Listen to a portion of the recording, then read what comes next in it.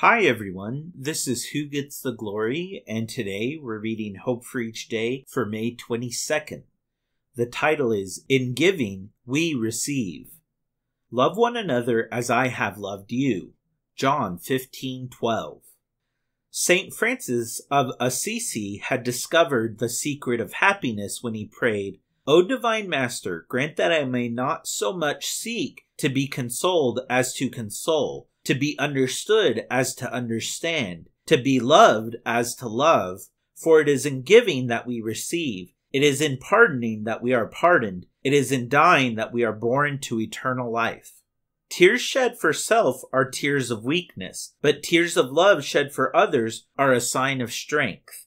I am not as sensitive as I ought to be until I am able to weep over the erring one and lift up the fallen. And until I have learned the value of compassionately sharing others' sorrow, distress, and misfortune, I cannot know real happiness. The opposite of love isn't hate, it's selfishness. Will you ask the Holy Spirit to free your life from selfishness and fill you instead with His love?